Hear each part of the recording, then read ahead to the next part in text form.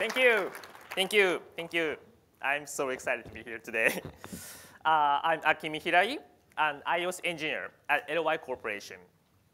Today, I talk about C++ interoperability. But before going to it, let me introduce a project I have been working for.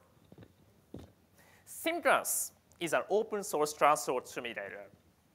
In this game, you can build a city, pave tracks and roads, and carry the passengers in your own world. I had developed this Japanese fork for seven years, and now many users use my Japanese fork.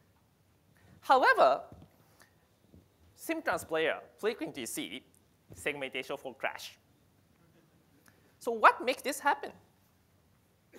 Okay, let's look into the Simutrans code base. Simutrans is currently 26 years old, and it has almost 600,000 lines of code. It is mostly written in C++98, so it's the legacy. Here's what's happening in Simutrans. In Simutrans, everything is passed by pointers.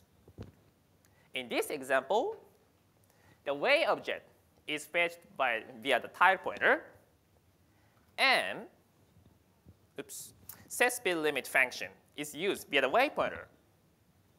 As you noticed, these pointers can be potentially null, and if these pointers are null, accessing them will cause a crash.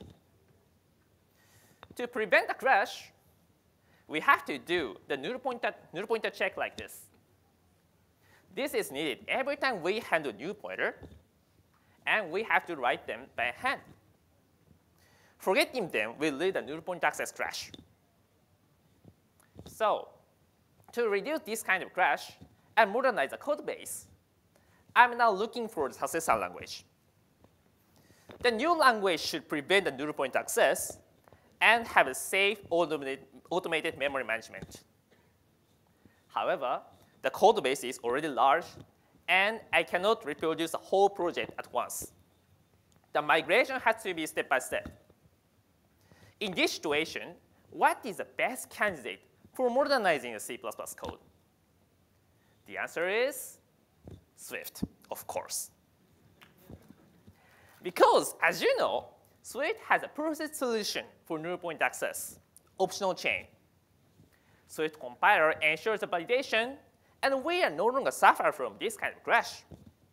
Simply using Swift will solve the null point access issue. However, this kind of type safety is also offered by other languages like Kotlin and Rust. So what makes Swift the best candidate for modernizing C++? The answer is C++ interoperability. With C++ interoperability, C++ types and functions are exposed to Swift. So in Swift code, you can directly initialize C++ type object and call the Swift C++ functions like this. Also, Swift types and functions exposed to C++. So in C++, you can initialize Swift type object like this and call the Swift functions directly. As we see, Swift and C++ have now the bidirectional interoperability. And we notice that this is very similar to Objective-C Swift interoperability. We already have experience to migrate Objective-C code to, C, to Swift with this interoperability.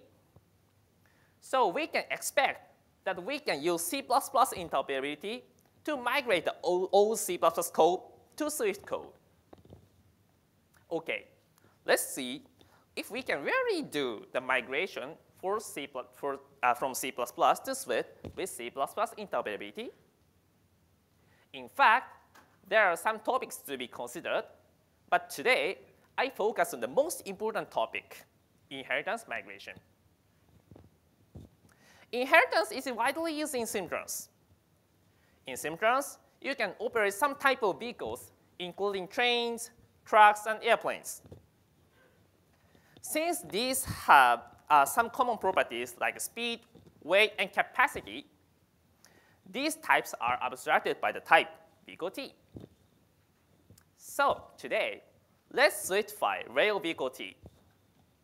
Please note that the, we own, uh, the superclass is still, still in C++. We will solidify only the child class. But before going to solidify, we have some limitations in current C++ interoperability. Swift types cannot inherit C++ types. Also, C++ types cannot inherit Swift types. In this situation, how can we migrate the C++ types to Swift, preserving the inheritance relationships? OK, let's start from here. Rail vehicle T is a class we are going to solidify. First, we replace rail vehicle T with a Swift-fied struct, rail vehicle. This struct has a superclass instance in it, and you can call the superclass functions and properties via this super property. And to abstract both existing C++ types and Swift types in the C++, we add abstract vehicle T. This is a pure virtual class, and it has the same definitions as vehicle T. Also, instead of directly calling the Swift-fied struct from C++, we add wrap rail vehicle T.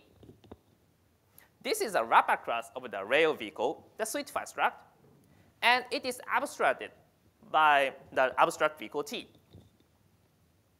Now, in C++, you can abstract both existing C++ types and Swift-fied types with the same class, abstract vehicle T.